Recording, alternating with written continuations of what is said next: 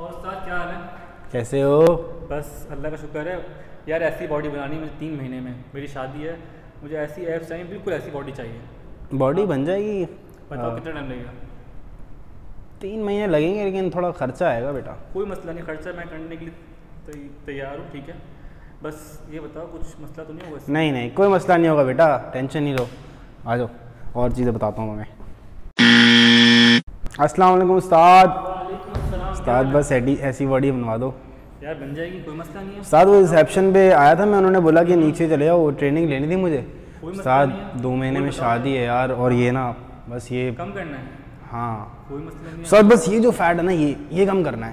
बाकी नहीं मेरा भी वेट है 92 मसला नहीं दो दो महीने है ना हमारे पास? दो महीने उस्ताद। पंद्रह के जी आराम से हो जाएगा पंद्रह बीस की उस्ताद बीस के जी तो करवा दो कम यार। हो जाएगा उस्ताद थोड़ा सा डाइट प्लान पे गाइड कर दें। देखो डाइट प्लान बता देता हूँ। नमक चीनी चावल रोटी ये रोकना पड़ेगा। ठीक है बाकी नॉर्मल आप छोटी मोटी कुछ चीज़ें बचा गया। हवा खाऊं? यार इतना तो करना पड़ेगा ना, काम करना होता सारा दिन। आप बोल रहे हो मुझे कम करना तो कम करने की डाइट तो कंट्रोल करनी पड़ेगी वरना खाओ पियो फिर। चलें उस्ताद जैसा आप बोलेंगे। बट देख लो यार उस्ताद ये बात माननी पड़ेगी ये उस्ताद अगर कम हो गया ना तो फिर मैं आपको गारंटी दे रहा हूँ आपको बस जो मैं बोल रहा हूँ वो नहीं खाना है। सही है? उस्ताद। बस। ये कम हो जाएगा ये मेरी ज़िम्मेदारी है। ठीक है उस्ताद जजाक फिर मैं पीर से आता हूँ। ठीक है? ओके हाफिज़। हाफिज़। क्या हाल है? मैं आ गया हूँ क्या करना है बताओ यार। यार इतनी छुट्टियाँ कर रहे हो यार। यार थोड़ा मसरूफ था अब ज़रा टायर्ड होके आऊँगा।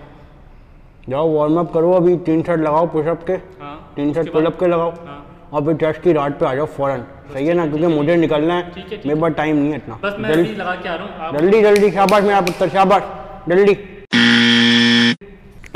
सो अस्सलाम वालेकुम मेरा नाम मिर्तज़ा आप लोग मुझे जानते ही हैं। और मेरे साथ जो है वो काशिफ, कोच काशिफ है। आप लोगों मेरी चाहे मेरे चैनल के ऊपर इनको फ़र्स्ट टाइम देख रहे हैं। असल में ये मेरे मेंटोर भी हैं, पढ़ाते हैं मुझे लेवल थ्री सर्टिफाइड है मास्टर्स किया हुआ इन्होंने फ़िज़िकल साइंसेस के अंदर। और आपने मेरी स्टोरीज़ वगैरह पे भी देखा होगा, अगर आप लोग मुझे इंस्टाग्राम पे फॉलो कर रहे हैं तो। सो अब इनका भी चैनल है ये भी वीडियोस बना रहे हैं और मेरे चैनल पे भी आएँगे तो आप लोगों को और अच्छे अच्छे कंटेंट मिलेंगे। सो so, स्टार्टिंग में जो आपने शॉर्ट्स देखे बेसिकली उसको बनाने का मकसद ये था कि आपको इन तरह इस तरह के जो ट्रेनर्स हैं उनसे मार्केट में बचना है क्योंकि इस तरह के ट्रेनर्स जो हैं आपको हर जगह हर जिम में मिलेंगे और लोग इनकी वजह से पागल बन रहे हैं। सो so, आपको अब काशिफ बताएगा कि किस तरह से आप लोगों ने ट्रेनर को एसेस करना है। कि जब भी आप ट्रेनर हायर करने जाएँ तो आपने उनमें क्या क्या चीज़ें देखनी है? क्योंकि ज़ाहिर सी बात आप पे कर रहे हैं और आप अगर पे कर रहे हैं तो आपको कम से कम ये कंफर्म होना चाहिए कि जिसको आप पे कर रहे हैं, वो एक अच्छा ट्रेनर है या नहीं है। सो आप काशिफ बताएगा कि आपने उसमें उनमें क्या क्या चीज़ें देखनी है, जब भी आप उनसे ट्रेनिंग लेने जाएँ। अस्सलाम जैसे कि इर्तज़ा ने मेरा इंट्रोडक्शन कराया, मैं हूँ कोच काशिफ। और अभी हमने बहुत सारे रॉन्ग नंबर्स आपको दिखाए कि किस तरह के ट्रेनर से आपने बचना है। बट इंपॉर्टेंट पार्ट ये है कि किस तरह के ट्रेनर के पास जाना है, ठीक है? तो अब हम उस चीज़, उसकी कुछ स्टैंडर्ड्स होते हैं, कुछ प्रोटोकॉल्स होते हैं, उनको फॉलो करना है आपने।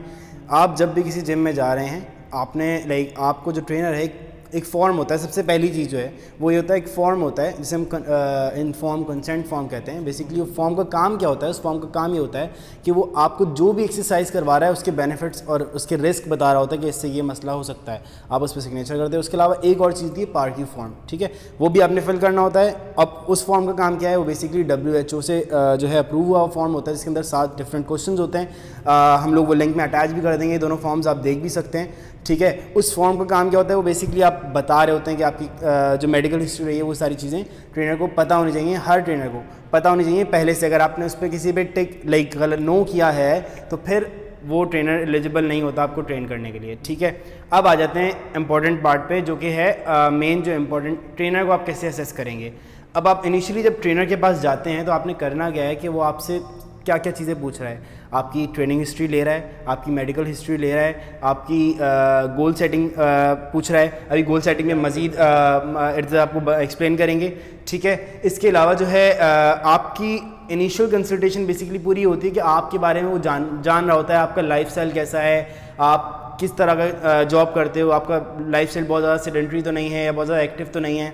अगर आप कोई एथलीट हो तो आप किस तरह के एथलीट हो, क्या काम करते हो, आपकी लाइक वो सारी चीज़ें जो एक ट्रेनर को मालूम होनी चाहिए। ठीक है, ये सारी चीज़ें हो गई। अगेन वही इनिशियल कंसल्टेशन के अंदर ये सारी चीज़ें ही पूछते हैं कि आप कितने दिन वर्कआउट कर सकते हैं। उसी हिसाब से प्रोग्राम बनेगा। वो प्रोग्राम के बारे में भी थोड़ा सा आपको बताएँगे और इन इस प्रोग्रामिंग के ऊपर भी एक बड़ी सी, लंबी सी एक वीडियो हम लोग बनाएँगे। ठीक है अब आ गई चीज़ जो है फिटनेस टेस्टिंग अब जब आपकी कंसल्टेशन हो गई क्लाइंट के साथ अब बेसिकली जो ट्रेनर है वो आपकी कंसल्टेशन करता है आपसे बातें बातें करता है एग्जैक्टली exactly, अब वो आपकी फ़िटनेस असेसमेंट करेगा कि आप किस काबिल हैं कुछ फिटनेस टेस्ट होते हैं ठीक है? और फिटनेस टेस्ट बेसिकली डिफरेंट होते हैं। आपकी स्ट्रेंथ चेक हो रही होती है आपकी इंड्योरेंस चेक हो रही होती है आपकी फ्लेक्सिबिलिटी चेक हो रही होती है। सारी चीज़ें आपकी पॉस्चर असेसमेंट सब कुछ देखता है ट्रेनर पहले।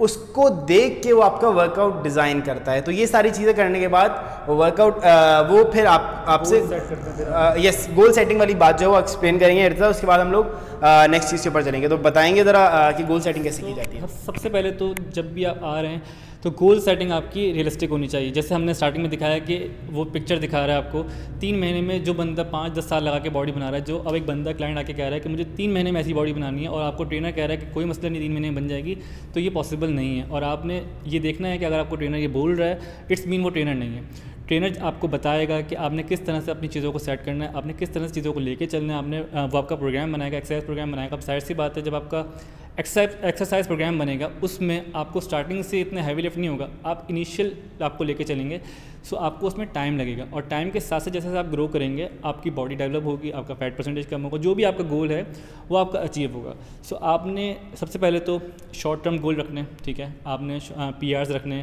कि आप वीकली पी आर सेट करें मंथली पी आर सेट करें, जिससे आप मोटिवेट रहें, फिर लॉन्ग टर्म्स गोल के अंदर आपने अपना जो भी फैट लॉस है, जो भी आपका मसल बिल्डिंग गोल है, उनको रखना है इससे ये होगा कि आप मोटिवेट भी रहेंगे और आप अपनी जो फिटनेस जर्नी है, उसको लंबे टाइम तक लेके चलेंगे। और मैं आपको एक और बात बता दूँ कि फ़िटनेस जो है वो एक लाइफ है। वो एक दो महीने की चीज़ नहीं है कि मुझे तीन महीने में बॉडी बना के चला जाना है और फिर आप बोलते हैं कि यार मेरी तो बॉडी लटक गई मैं तो बिल्कुल वापस वैसी हो गया। तो ये इस तरह की चीज़ें नहीं है सही है? सो so, अब आते हैं एक्सरसाइज प्रोग्रामिंग के ऊपर। एक्सरसाइज प्रोग्रामिंग के अंदर ये होता है कि जो भी आपका ट्रेनर है वो प्रोग्राम डिज़ाइन करेगा वो वो एक्सरसाइज आपके साथ डिज़ाइन करेगा जो आपके लिए ईजी है। ऐसा नहीं है कि अगर आप डेडलिफ्ट नहीं कर पा रहे तो आपको स्टार्टिंग से डेडलिफ्ट करना शुरू कर देगा। वो आपका आपको एसेस करेगा फिर आपको लाइट रेंज ऑफ़ मोशन कम रेंज ऑफ़ मोशन से स्टार्ट करवाएगा। वो देखेगा कि आप किस तरह से कर पा रहे हैं, फिर वो आपको आहिस्ता आहिस्ता आहिस्ता आहिस्ता आगे लेके जाएगा। फ़र्स्ट डे में आपको स्कॉट डेड लिफ्ट और हैवी लेग प्रेस ये नहीं करवाएगा। नॉर्मली ट्रेनर्स ये कर रहे होते हैं। तो जो भी एक अच्छा सर्टिफाइड ट्रेनर होगा, वो ये सारी चीज़ें देख के चलेगा। सेकेंड आता है हमारा प्रोग्रेस प्रोग्रेसिव प्रोग्रेसिव ओवरलोड आते लास्ट में। नहीं हम प्रोग्रेस ट्रैक करने के बारे में प्रोग्रेस ट्रैक करने के बारे हाँ। में वो जो हम आई थिंक जो भी एक ट्रेनर होगा जो भी एक ट्रेनर हम्म। होगा जो आपको ट्रेनिंग करवा रहा होगा वो हम्म। आपकी प्रोग्रेस ज़रूर ट्रैक करेगा मंथली बेसिस पे या टू मंथ्स के बेसिस पे हम्म। ये ना हो कि वो बस आप आते रहें जिम और आपको भी लाइक देखिए हर चीज़ में हम लोगों का क्या है कि वेइंग स्केल एक लाइक एक इंस्ट्रूमेंट एक आला बन गया कि वेइंग स्केल ही सब कुछ है। But hmm, hmm. ऐसा नहीं है प्रोग्रेस ट्रैक करने के और ही बहुत सारे तरीके हैं। आपके पी आर आपकी स्ट्रेंथ इंप्रूव हो रही है आपकी इंड्योरेंस इंप्रूव हो रही है। अगर आप आप एक पुशअप कर रहे थे और एक महीने बाद पुशअप कर रहे हैं आपकी बॉडी कॉम्पोजिशन बेहतर हो रही है या आपकी बॉडी वो तो बहुत सारे इसकी तरीके होते हैं और उनसे प्रोग्रेस ट्रैक की जाती है। ये नहीं कि सिर्फ़ वेइंग स्केल पर अगर आप कांटा इधर उधर जा रहा है तो सबसे बड़ा मसला ये विंग स्केल के आता है कि आपकी अगर बॉडी रिकम्पोजिशन हो रही है आपका फैट कम हो रहा है मसल्स बढ़ रहे हैं तो विंग स्केल पे आप इतना डिफरेंस नहीं आएगा। और लोग परेशान हो जाते हैं कि यार मेरा तो वेट ही कम नहीं हो दो महीने में जबकि उनके इंचेस कम हो रहे होते हैं उनकी बॉडी शेप में आ रही होती है। यस तो ये चीज़ें आपने इनका ध्यान रखना। है आपने कभी भी ऐसे अनरियलिस्टिक गोल्स नहीं सेट करने जो पॉसिबल नहीं है। आपके पैसे भी ज़्यादा होंगे आपकी हेल्थ भी ख़राब होगी और ट्रेनर तो आपका पागल बनाएगा और और और एक और चीज़ जो मेंशन करनी है कि कौन सा ट्रेनर आपके लिए सही है वो ट्रेनर सही है जो आपको हर चीज़ के लिए अप्रिशिएट करे जो पॉजिटिव रहे। आपको लाइक नेगेटिव नहीं बोले यार क्या कर रहे हो यार तुम खा नहीं रहे यार तुमसे होता ही नहीं यार। इस तरह की चीज़ें ना हो। वेट नहीं उठता तो गालियाँ देना शुरू कर देते यार वेट नहीं उठ रहा। हाँ तो तो वो भी एक रॉन्ग नंबर है ठीक है? थैंक यू सो मच जुड़े रहिएगा। Coach Kashif Irtaza fitness thank you अलैक्म